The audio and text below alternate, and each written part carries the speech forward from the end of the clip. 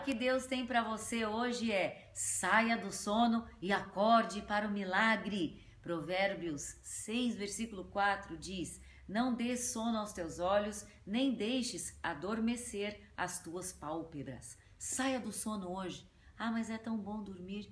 Mas eu digo: saia do sono da fé, saia do sono da esperança. Deus tem milagres para você hoje. Não fique parado pensando: será que vai acontecer alguma coisa comigo?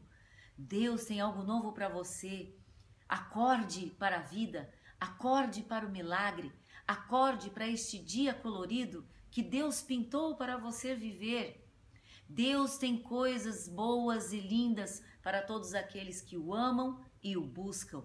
Neste dia eu te desafio: saia deste sono, saia desta zona de conforto e acorde para os milagres que Deus já preparou para você.